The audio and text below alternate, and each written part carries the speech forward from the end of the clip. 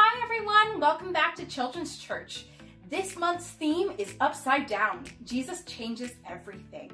When this midst of what everything feels like is upside down, just remember that Jesus stays the same no matter what, even though he completely changed our understanding of God. Let's go ahead and do our invocation for this morning. Okay, repeat after me. In the name of the Father, in the name of the Son, in the name of the Spirit, the three in one. Great job, everyone. As you remember, we are looking at our memory verse this month, which is Philippians 2 3. So go ahead and put on your listening ears while I go ahead and read it. Don't do anything only to get ahead. Don't do it because you are proud. Instead, be humble. Value others more than yourselves.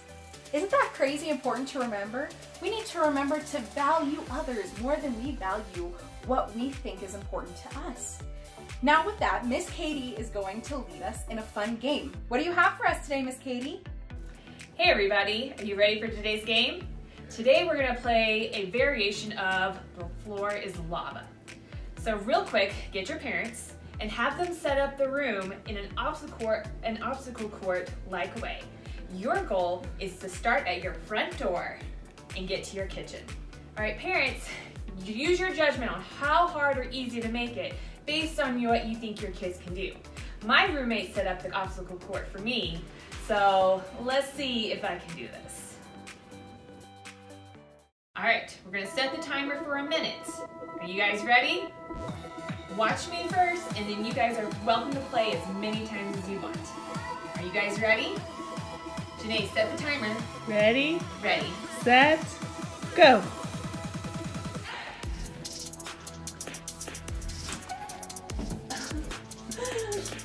Magazines are slippery.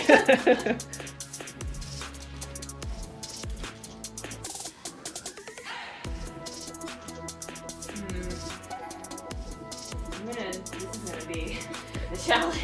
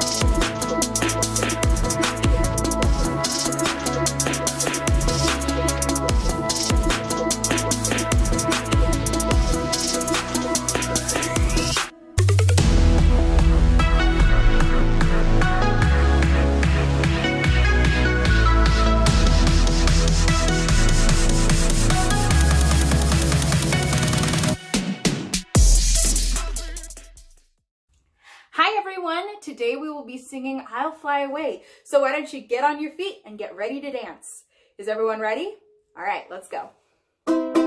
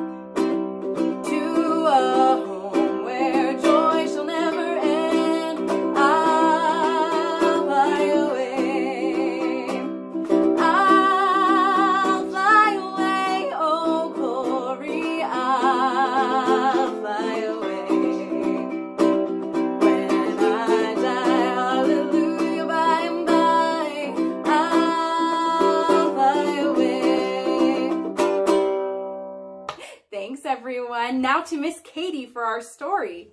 Hey everybody! This week we're going to be learning about the road to Emmaus and how two of Jesus' disciples definitely got humbled by it. Normally, when we do children's church, I have you guys act out the story. But this week, I'm going to be acting out the story with the help of me, myself, and I. Come on, let's get started.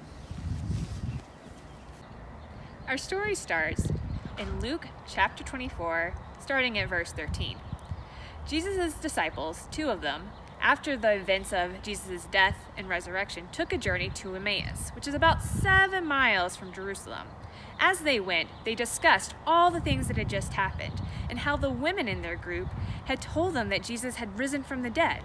The body was gone and the tomb was empty. They weren't sure what to believe. Can you believe what happened this week? I know. It was crazy, right? As they were walking and talking, Jesus came and joined them, but they were kept from recognizing him. Hey, what are you guys talking about? Are you kidding me? Where have you been this week? Under a rock? Have you not heard of everything that's happened with Jesus of Nazareth? Yeah, haven't you heard? Jesus of Nazareth came into Jerusalem last week, and everyone believed he was to be the Messiah to redeem Israel. We especially had hoped that he was. But then the high priest crucified him. But even more than that, three days later, later, the women in our group told us when they went to the tomb that the tomb was empty and that an angel came and told them that he had risen. You silly heads! Haven't you heard of what the scripture said about the Christ? That he had to suffer and die for the sins of the world, but that God would raise him from the dead on the third day. As they got closer to the town, they urged the man, who was really Jesus, to stay with them and to share a meal. As they gathered for dinner that night, Jesus broke the bread and gave thanks. When Jesus did that, their eyes were open and they saw it was really Jesus. Jesus! no way! Jesus!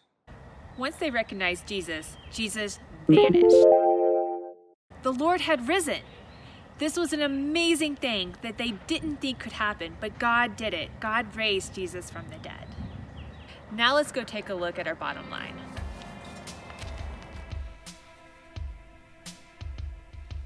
Let's take a look at our bottom line together. There's always more to discover about God's plan. That's definitely true in today's story. The disciples thought it was over after Jesus died on the cross, but God had so much more to show them. And God still has so much more He wants to show us. Let's keep that in mind that even during the darkest times in our life, God is still teaching us. Even during this pandemic, God is still teaching us. And all He asks us to do is to put our trust in Him and show a little humility. Thanks, Miss Katie. What an awesome story. And doesn't she tell it really well? Well, our theme this month has been humility. And humility is putting others first by giving up what you think you deserve. The most incredible act of humility that we can see through the Bible is Jesus' act on the cross as he took our sins away, even though he did not deserve it. So we need to act humbly. We need to walk through our lives as if we don't deserve anything, but giving that up. Can we go ahead and fold our hands and bow our heads and pray with us today to finish out? All right. Dear Jesus, Thank you so much for your sacrifice on the cross. And we thank you so much that you give us the strength to be humble in all that we do. We love you, and it's in your name we pray. Amen. Well, I hope you guys enjoyed this version of Children's Church, and we hope to see you again next week. Bye, everyone.